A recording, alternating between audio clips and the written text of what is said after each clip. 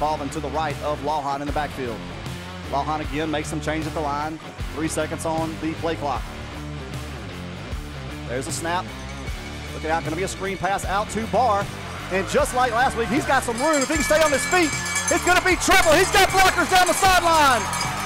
He's at the 15, the 10, the 5. He's in for the touchdown. Tunnel screen to number 9, John Barr, and he takes it the distance to put the Panthers on the board. It was a tunnel screen and a half, and you got to give Tramel Colvin credit at the very end. He was able to deflect that defender just enough. The last guy that could have caught him, he was able to get him just enough to uh, to keep him off of John Barr. There's a snap, going to be an option to this near side. Lawhon's going to keep it. Going to slide down at about the 42. I think he's going to be just short, but nice gain there on the option keeper. That was uh, nice Oh, they're going to say first down. That's a Downs Law Firm. First down for the Panthers. Two receivers near side, one out to the far side.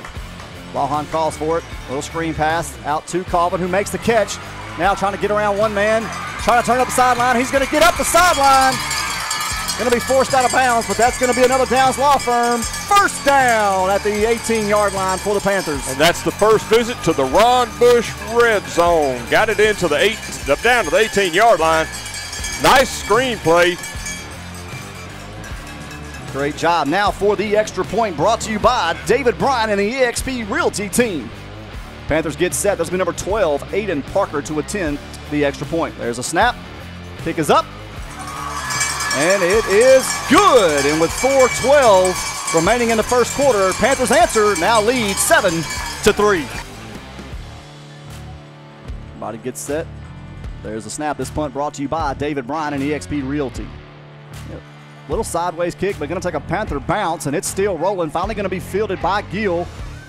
He called for a fair catch, and they're going to say he is down at the 42 yard line.